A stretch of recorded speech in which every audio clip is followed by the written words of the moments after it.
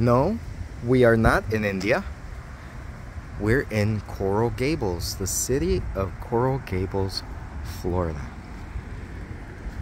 And as promised, I'm showing you the trees of Coral Gables. Tree-lined streets. You can compare to the Flagami neighborhood video that I recently posted. And you will find that the architecture, although some streets have nicer homes, others have nice homes, but similar to the Flagami neighborhood homes. The difference is in the trees and gardens. This is about, I would say, two miles away from where I shot the last video. What a difference I feel. Basic home, beautiful trees, night and day.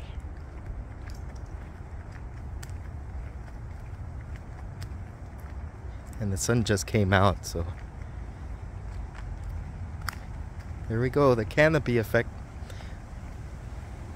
that I so much, that I love so much. Or your palms, somebody suggested we plant palms in Flagami. But I really don't care. Oh, what car is that? Tell me in the comments. I don't really care what kinds of trees they have. Um, my friend Max reacted to the video before and he said that in the 60s and 70s Flagami had trees everywhere. But he blames the Cuban for the the Cubans uh, for the destruction of the of the trees. Uh, the Cubans who moved in um, as you know I'm sure the history of Miami they started uh, arriving in 59 and 60s after the Revolution. But um, he doesn't like that they destroy the trees, and he's Cuban. Now, if you're in the Miami area and you want to know where you are and you see one of these.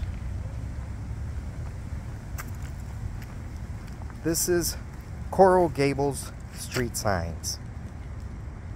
So whenever you see that, you know you're in Coral Gables.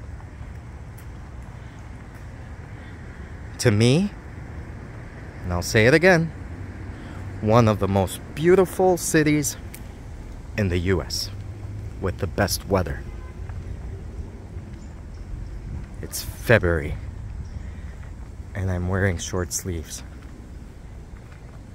And I'm walking for an hour. It's gonna be an hour walk to Flagami.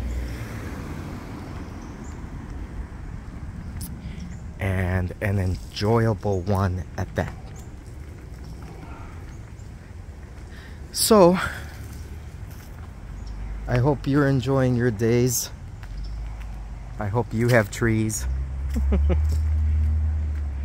and I hope you have an RV like that one. My goodness, that's my dream right there.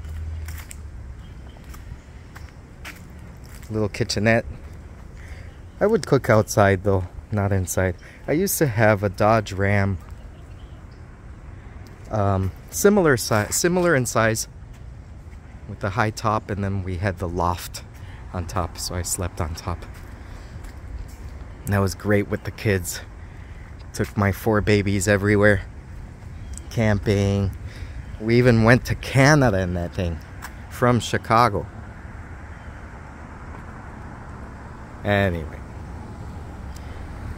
It's just a machine that helps you enjoy nature. Have a great day.